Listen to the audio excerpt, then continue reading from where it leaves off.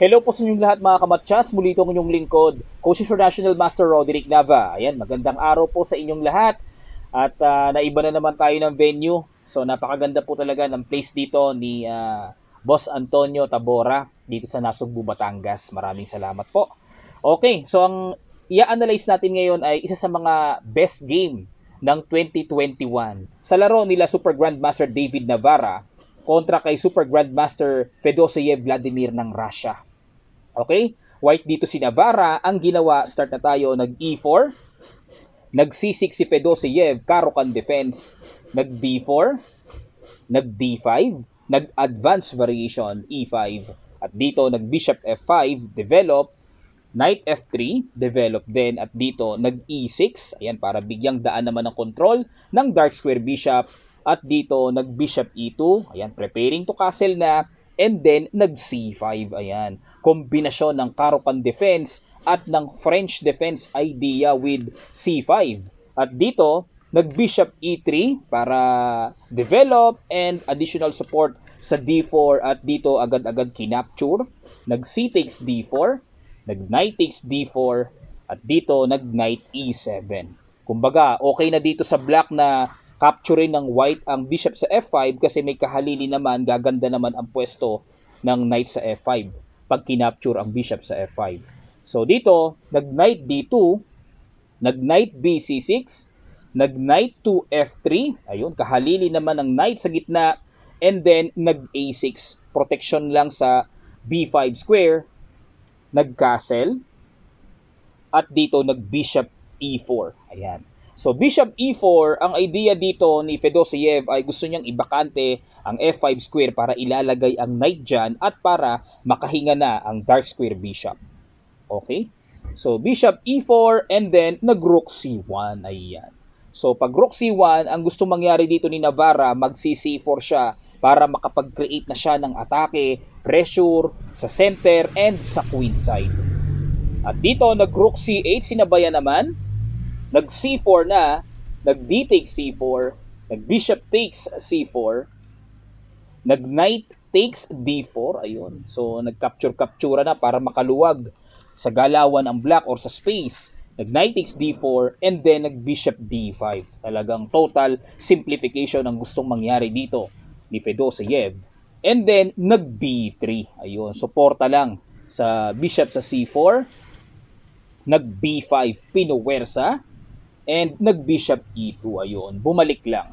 Kasi dito ay uh, may topic ng exchange na mangyayari na kapag kinapture ang bishop, knight takes d5, napakainam nito sa black.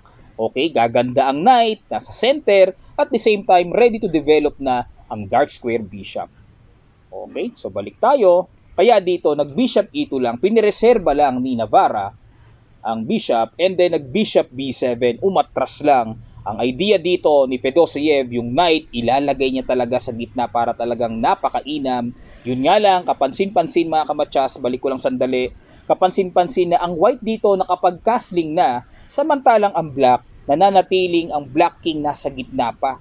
So medyo naaksaya ng tempo, no? mayroong kagad na oras ng development na nasayang sa black.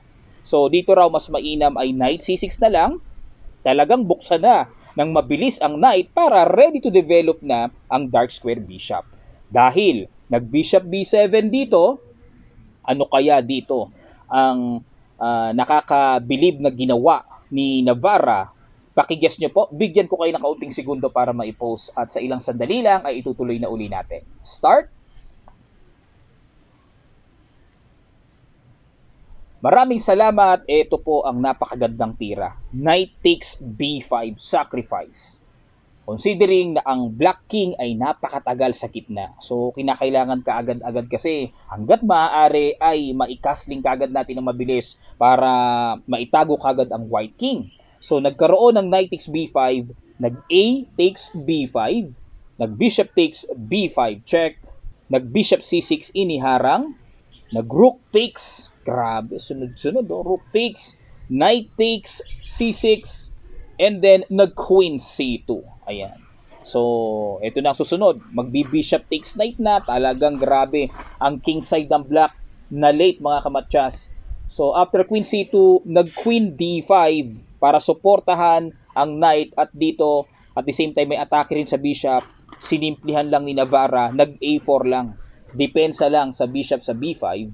Nag-f5 ngayon. Ayan. So f5 para makahinga-hinga, space sa king side at para makapag king f7 na. So, agara ng gustong uh, pag-iwas dito sa napakalakas na pin. King F7 ang gustong mangyari dito ni Fedoseyev. Ayan. And then, nag-rook D1. Inatake ang queen. Nag-queen E4 at the same time F5 and then may queen E4 pa na timing para ma-eliminate ang queen na nagdadagdag ng matinding pressure sa knight sa C6. Okay? At dito, nag-bishop D3. Siyempre, nasa white side ang atake. Dapat Umiwas sa simplification, bagkos ay palagablabin ang pressure mga kamatsas. Queen B4, umiwas, and then nag-bishop A6. Inatake ang tore sa C8. Nag-rook C7, nag-bishop B5, binalikan ang knight at dito nag-bishop E7. Ayun, tanggap na talaga ni uh, Fedoseyev na makuha yung knight sa C6 para iiwas lang siya ng simple pero napakalakas na naman ng binitawan dito ni Super GM Navarra, nag-bishop b6 para atake talaga ng buong buo sa rook sa c7. At dito nag-rook c8, bumaba, bishop takes knight na check, king f7, nag-a5. Ayun. So medyo may pagka-positional sacrifice. Ang tema nito, nag-g5 dito, nag-gain na ng space talaga na posibilidad na tatakbuhan talaga ng black king, no? At uh, may potential pa na baka gusto mangyari ni Fedoseyev, mag H5, mag G4, bobomba rin siya para magkaroon na rin siya ng atake sa king side. At dito, nag king F1 lang, tsaga-tsaga lang. Si Navarra, nag queen F4, inatake ang pawn sa H2, atake rin sa pawn sa E5, nag G3, pinakapture na ang pawn sa E5. Dito, nag queen C4, Pressure lang dito sa pawn sa e6. Bishop c5. Ay, grabe ang exhibition din na ginawa dito ni Fedoseyev. So, bishop c5 para ma-disconnect ang queen sa pagkakadepensa sa bishop sa c6. At dito, natumbukan ng good move, rook e1. Tempo attack muna sa queen sa e5. Nag-queen d6, umatras. And dito, excellent move mga kamatsas. Rook takes e6 Ayan, so napakaganda ng ginawa. So ang idea dito, pag kinapture, paki-imagine po may bishop d5 kasi. Okay, so maku-queenless ang maku-queenless dito ang black. So dito ang ginawa, nag-queen d4, ang last shot na ginawa, excellent move, rook e7. Check. Nag-resign si Fedoseyev after king takes e7, then meron kasing bishop takes c5, mafo-fork double.